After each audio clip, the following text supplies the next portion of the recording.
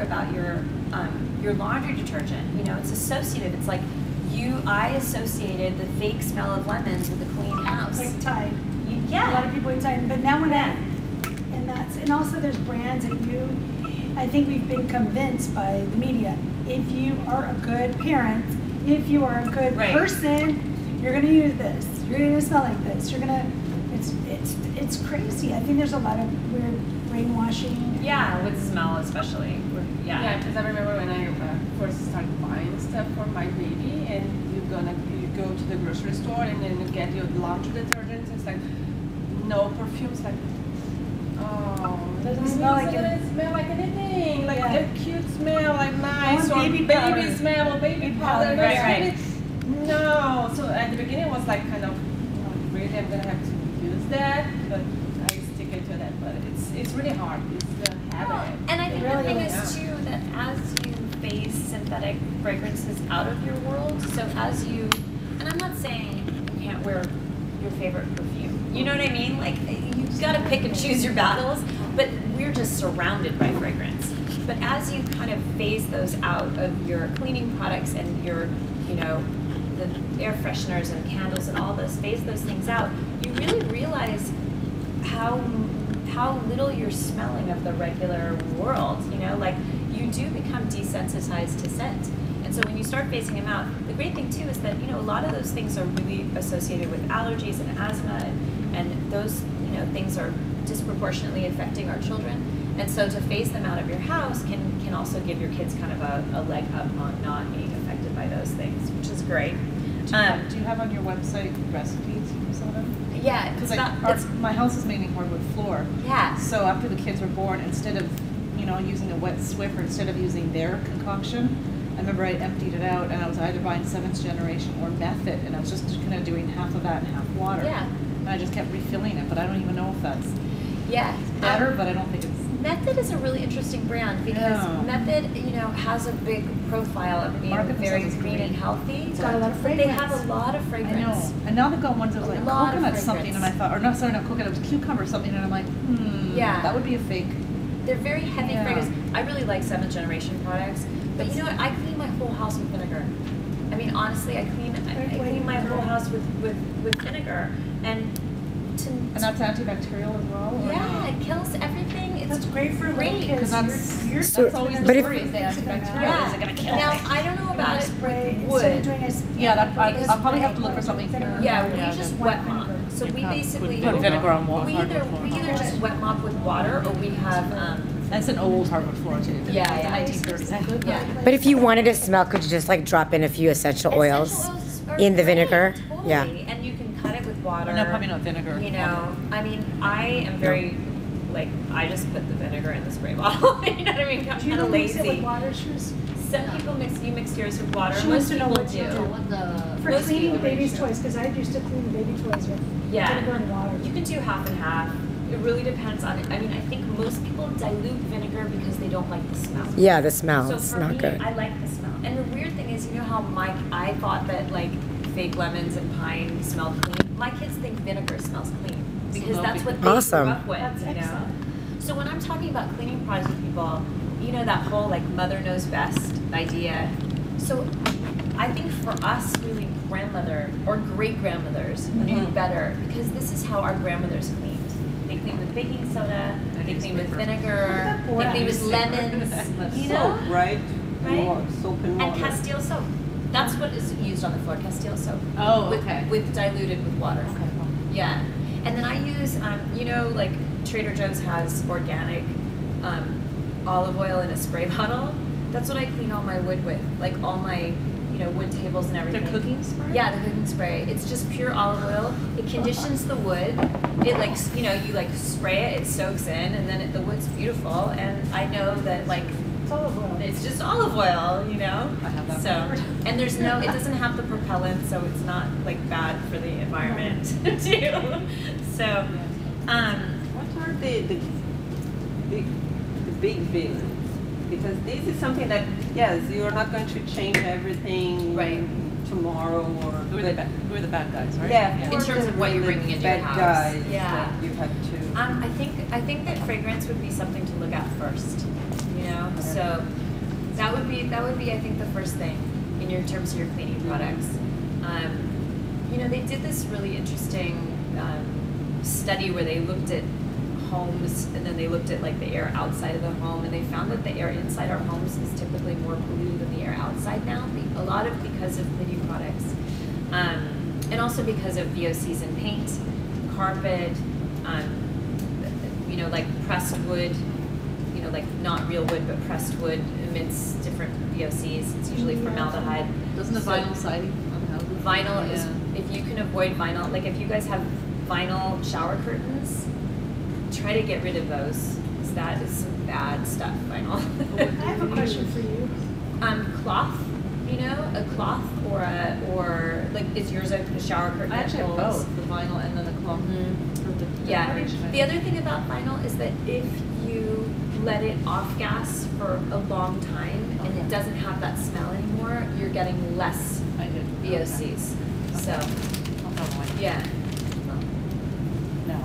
I have a question, because Yeah. we live, we're neighbors, and, um, you know, when you live where they're doing construction, I've kept my windows closed pretty much during the construction, and then ever so often I'll open them for a few, when they're, when the workers are Yeah. off, then I'll open them for a few hours, but I have kept it closed, because I'm worried about all the stuff Yeah. Yeah. So okay. So the so the thing is, you I know your house, and you know it's a fairly old house, as is Sure, mine. yeah. So that's a good thing. Yeah. Because older houses are porous, and so the air is coming in and out of the houses. Okay. It's the new houses because they're completely airtight, and they do that. It's really a, a, a strange phenomenon of kind of the um, environmental consciousness in a weird way because what they're trying to do is make those homes less energy dependent, right? And so they're doing that by making them completely airtight. So if you heat the home, the air stays inside. You cool the home. If you cool it, it stays inside. But the flip side of that is that any toxic chemical that's in your home stays inside too. So what you really want to do is just open your windows for like 10 minutes a day, every day, whether it's cold or, or warm. You know, just open them in the morning. If you live near streets, open them in the morning when it's the traffic is quiet, and then you know close them up again. Just let the air flush through your house. Um, yeah, yeah. But your your house, and then you know air filters. I don't know if you guys have air filters, but you know air filters are great. Like they really do work. And if you don't have Like a HEPA filter? yeah, HEPA filter, your um, vacuum cleaner, if you have a HEPA filter vacuum cleaner, that's great. A lot of the things that are especially challenging to small children, like lead, um, is, you know, lead and flame retardants, they become part of the dust. So then the kids, you know, are crawling around and they have the dust on their fingers, they put their fingers in their mouths.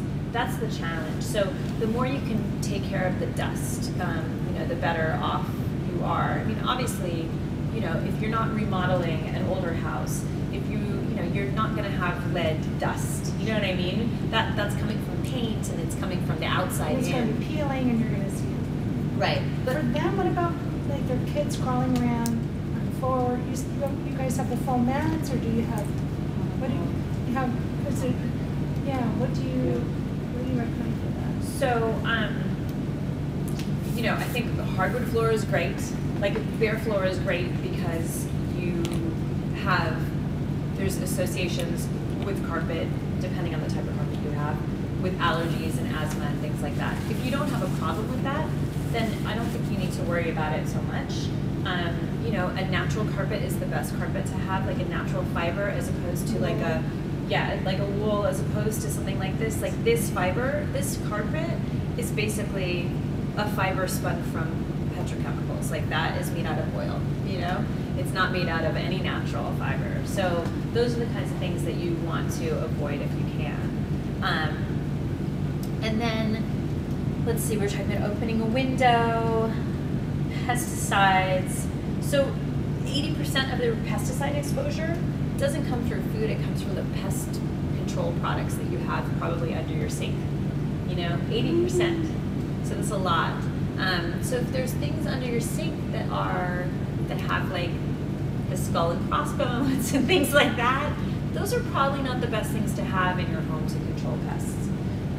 Pesticide exposure is linked to a lot of different health problems in children, and it's great to just try to reduce it wherever you can. another form of pesticide that people often don't know is triclosan. So you know the hand sanitizer, it says antibacterial, antimicrobial. That's a pesticide, and they've done studies. The FDA did all these studies, and they found that washing your hands with soap and water is actually better. You get immune to the, the, the hand oh, washing. Yeah, so here's the other thing about hand But they're wanting to take sanitizers. it out, they're not, re- or they're starting to not recommend it anymore. Yeah, so Yeah. Even Triclosan is. Triclosan is banned in, I think it's Minnesota. Like, it's banned in a state, you know? So Triclosan is, it's just, it's crazy. And kids it's, can really get sick some if you, they eat it. It's like I don't know about that. I mean, I know that there are challenges with the alcohol-based hand sanitizers, right. right, when they eat them. I, I've never, you know, I feel like, Well, triclosan is in um, the Colgate, uh, the, the more Total. expensive Col- Colgate Total. Yeah, Yeah. that's why I stopped using that one years yeah, ago. yeah. yeah. Years ago, yeah. Don't don't. Colgate don't. Total's the last toothpaste to have t- Hold up, Triclosan yeah. in it. It's now they're apparently going to be taking it out, but I'm like. Well, they are because people know about it now. And you know, the thing about triclosan that's crazy too is that it suppresses your immunities. So everybody's using it during cold season. Mhm. And it's suppressing your immunities. So actually, you know, you're contributing to the colds. It's a, but it's a cycle. Like you use it, you think, and you then you use Yeah. it, you, you get sick, and then you're like, I'm gonna protect myself. Exactly. I'm gonna do, it's like a, so it's an engineered Yes. cycle, No cycle. But if you like hand sanitizers, and I know, like, I had hand sanitizers, especially when my, so my first, my son got really sick when he was eight weeks old, he was in the hospital, and it was terrifying. And so from that point on, you know, I was, when, when I had infants, I was terrified of illness. And I had two infants in January, which is like cold season.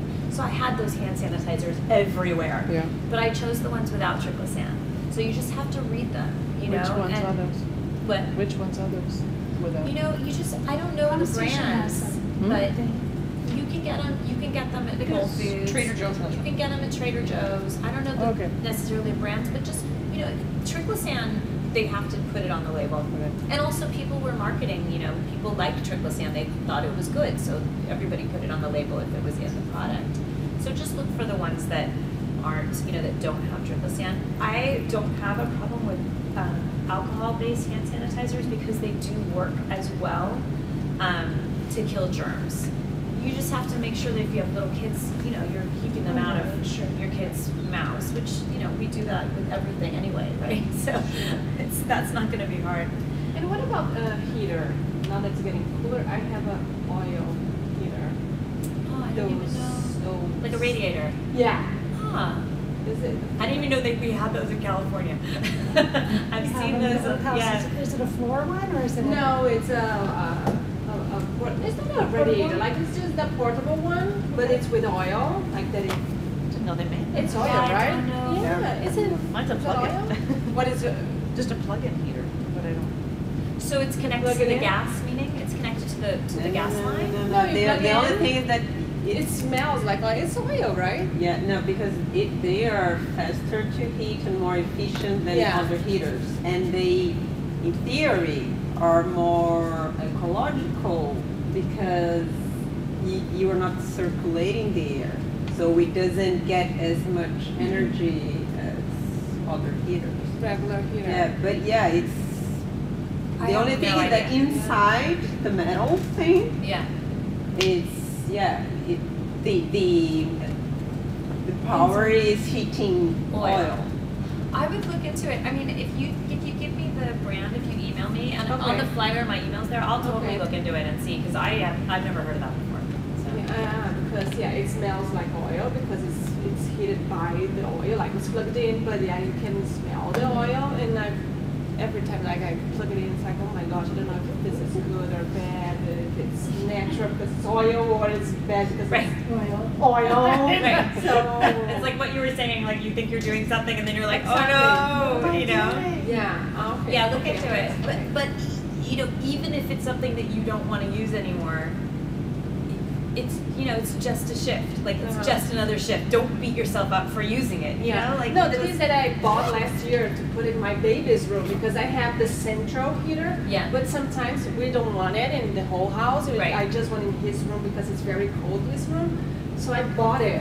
I don't know why I bought it because someone told me It's that it was cold. good or something. It's, it's too cold. And I put it, but every time it works perfectly, but it's like every time that it would smell, they always like, oh, I don't know Yeah. if this is good. But that's your gut instinct too, right? I mean, that's your that's your instinct right there. I mean, I would. I think we should look into it, and maybe it's completely fine. But Yeah, I feel like true. your Yeah. instinct is telling you this is not something I want to Yeah, that's true. You yeah, it's mean? telling me I, I don't want to hear it, but it's telling So me that it's like, mm. And that's the thing is, you know, you, that's the challenge with like mislabeling of products and sort of hiding like the fragrance thing. You know, you sort of disconnect that instinct because it's impossible to see what something really is. You know, and that's that's why it's I think frustrating to a lot of people. But So you feel like who am I going to believe? You Yeah. know. But it's like what you said, you, you discover, okay, so let's say you discover that it's not such a great thing, then you're gonna look for alternatives and, you know, even ask your friends. Now what I do, if I find something is good, I'll go on Facebook and I'll say, anyone have this? Right. People really like love to give you, Rocky's like, will give you anything and everything. If you say, like, I need this, really, well, here it is, like, I have three, here's, here's all three. People, some people. I do, okay. No, you are very generous. And so I think that's another way to keep things green is also to recycle. Oh, totally. And so you might have a friend, I might look in my, and see that I have, I know I have a little space heater. It might be a healthier space. Yours might be just fine, but if it isn't, you might go on or pull up them and just say, does anyone have one? You Yeah. know? Yeah. Because sometimes we don't get something that's better because, oh my gosh, now we have to buy a new mattress that's like three thousand dollars, you know? But Just buy a mattress. Exactly. So maybe there's some. That's what I'm saying. Like maybe there's something like. But that's why I, I don't listen to the noise because I'm like, I cannot prefer get something like else. a It's certified not this. organic mattress cover. They, they make them that you are actually know, okay. because then you, then you're. I mean, here's the thing about fabrics, What right? that? That's just stopping the chemical or the fire retardant from like. But then we still have a bed sheet though. So why? Yeah, Do we have it, so double? it becomes part of the dust. Okay. So that's the thing. So if you get like a thick mattress cover and you put it over the mattress And and, it goes all the way on the bottom and then Okay. you put the sheet on top. Um, so I like the I like organic. There's a great company called Naturepedic that makes Mhm. um, and especially if you guys are you know if you know somebody who's you know have a new baby, um, you know especially crib mattresses, baby mattresses, it's great to get those without flame retardants if you can. And actually Naturepedic makes a beautiful flame retardant free line at baby to baby and like 50 bucks or something or 80 bucks. It's great. Um, so, but when it comes to things like cotton, like, um, you know, fabrics, you know, the question for me there is like, do I want to support the farmer that's choosing to make it with organic, that's choosing not to use pesticides, that's taking on that additional um, expense and and also, you know, sort of market fear to do that and follow my vision, or do I want to just buy the conventional? Because when you buy conventional fabrics, if you put it in the wash, you're going to wash any res- residue right off of it. It's not a question of your personal health when it comes to fabrics. Really, it's not. You know, you're going to wash it. It's nothing's going to stay in the fabric unless you're talking about you know flame retardants and and foam and you know that kind of stuff is different. But like plain fabrics, Okay. you know. So for me, it's a question Nature- of really supporting. Or- Naturepedic, yeah. They're really great. Actually, they were um, they were my sponsor for my book. Oh, look at that. There. Right on the back. they, they were great. So this is actually, if you do know somebody who's, you know, who is having baby, this is my my third baby here. Aw, so cute. um, and I wrote this book because um, I wanted to basically share all of my experiences. First with my kids. I actually started writing it as a letter to my kids. Um, and then I sent it to a friend of mine who was pregnant. And after she had her baby, because it's it's pregnancy, birth, and beyond, which is like the first couple of months. Um, and after she had her baby, she she was like, "You have to make this a book." um, because it helped her a lot. You know, it's really not like an intense read. it's very easy read. Um, it's a companion book to the other stuff that you might have, but it's kind of my perspective. Um, and then I also made it a free read on Mommy Greenest. So if you know somebody who's pregnant and you think might be interested in the information, they can just go to Mommy Greenest and click on the ebook, and they can read the whole thing on my site too. Um, so the last thing I will say is, um, and this is completely has nothing to do with your personal health or your children. It really is just for you guys as women. So um, I do this campaign every year called the Shop Drop Challenge, where I encourage women to give up shopping for 30 days um, in the month of January. shopping, shopping for clothes. shopping for clothes. Um, which may be challenging because of those after Christmas sales. but you can decide to do it at any point in January, meaning you could do it on January 30th. It's just 30 days beginning in January. And the reason that we do this every year, and this is the third year that we do it, is um, is the average American woman spends $60 a month on clothes and throws six pounds of textile waste into the landfill. So collectively, we 160 million American women, um, if we just stopped doing that for 30 days, we could save 10 billion dollars and a billion pounds of textile waste. Nearly, almost 10 billion dollars and a billion pounds. So I've done it for three years.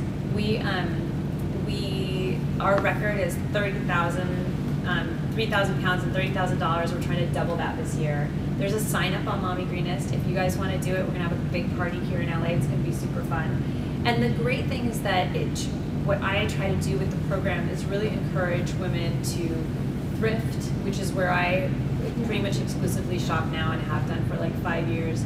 Thrift and then swap. So like what you were saying, you know, do you have something swapping kids' clothes swapping kids' clothes, swapping clothes, and then thrift shopping. You know, it really keeps everything in circulation. It keeps clothes out of the landfill, and it saves you so much money.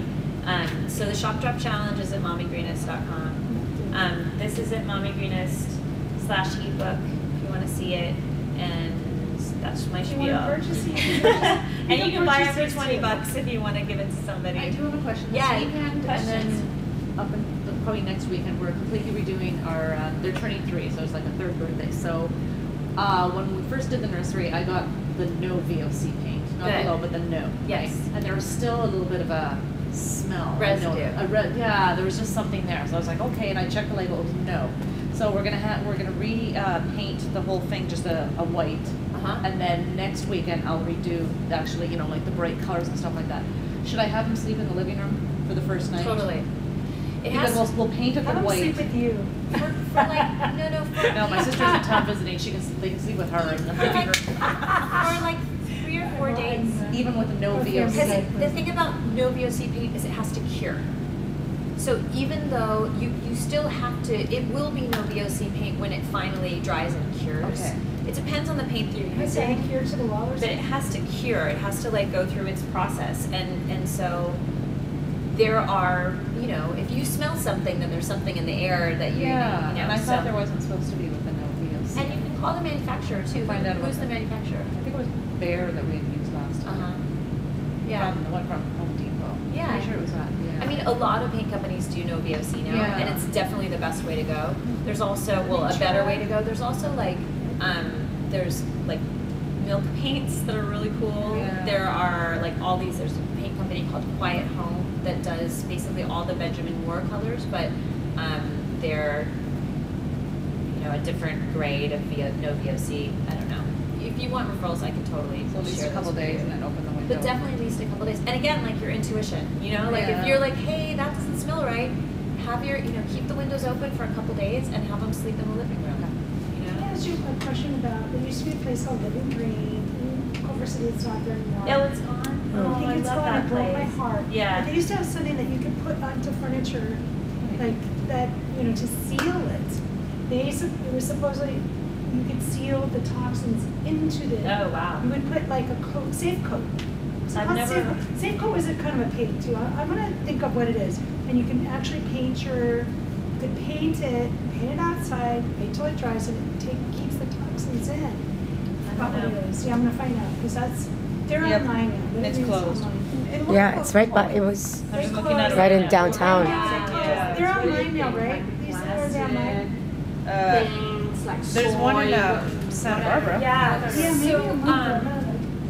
You know, the thing about toys, so every year another toy company gets busted that has imported their toys from another country and they find that they're contaminated with lead or cadmium or something else. So this happens all the time. Um, so I think in light of that, if you can choose toys that are made in America, the, the regulations for toys are actually very good in America, surprisingly, considering the regulations for everything else are not so great. But um, yeah, the toy regulations are, are pretty good. So look for Made in America. There's also um, there's a really cool store called Caro Bambino in Santa Monica. I don't know if you guys have seen that store. I love it. There's a really great company called Safe Ducky. Safe Ducky is certifying stores, so they're going into the stores. They have this crazy machine that you can like scan the toxic content of products. and so they're certifying stores. So they'll go into a store, they'll check all the products on the shelves. If there's something that is not um, is not up to their standards, then they'll work with the store owner and the manufacturer to take it off of the shelves. So they're really a great resource too.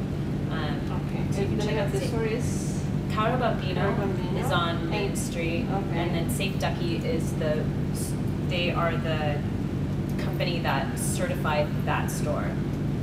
And that's how I know Caro Bambino is through Safe Ducky. Because I haven't bought like, you know, baby toys in a long time. yeah, but you know, again, like there's different plastics, right? There's you want to look for if you're going to look for plastic, you want to look for BPA plastic for sure. Uh-huh. Um, avoid PVC, avoid avoid vinyl, Uh-huh. because those are you know those have different issues.